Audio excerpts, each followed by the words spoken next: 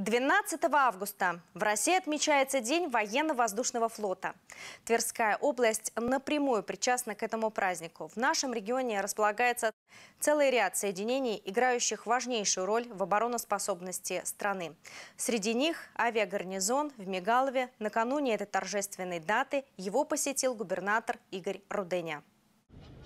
Вот такой красавец Ил-76 является без всякого преувеличения рабочей лошадкой военно-транспортной авиации. Дело не только в том, что самолеты под маркой Ан постепенно списываются по мере выработки ресурса. Важно и то, что этот транспортник, созданный в КБ Ильюшина, получился на редкость универсальной машиной. Он может практически все. включая десантирование, слив огнегасящей жидкости, что касаемо пожаротушения, перевозку войск, техники, грузов. Ну, все задачи, которые стоят, выполняются данным типом самолета Ил-76. Всевозможные грузы – это не только танки или боеприпасы. Военно-транспортная авиация выполняет огромный фронт работ и в интересах народного хозяйства. Например, перевозка крупногабаритной техники на север или тушение пожаров. А если учесть, что вот такие самолеты обеспечивают визиты первых лиц государства, то становится понятным, что наши летчики известны далеко за пределами страны.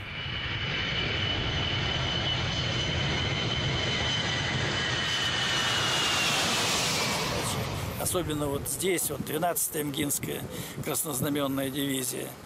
Это весь мир охвачен воздействием наших экипажей на те проблемы, которые решает государство в этом мире. И внутри страны, и за рубежом.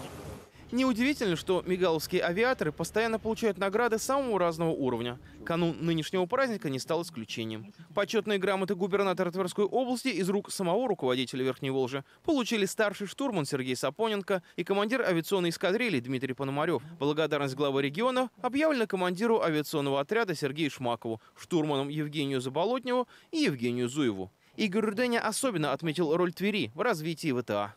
Верхневолжье является одним из центров развития и повышения боеготовности военной авиации нашей страны.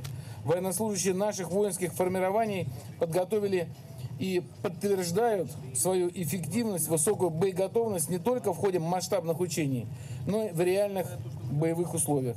В ходе торжественного митинга авиаторов поздравили и представители общественных организаций. В частности, руководитель регионального центра добровольчества «Мы вместе» Юлия Саранова.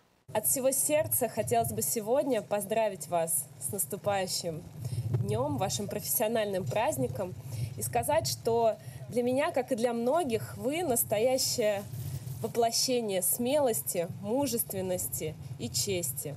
После торжественного мероприятия Игорь Руденя провел встречу с ветеранами и действующими военнослужащими. Обсуждались жилищные вопросы, обустройство спортивной площадки на территории части и парка в микрорайоне Мигалова, создание условий для дошкольного образования детей военнослужащих.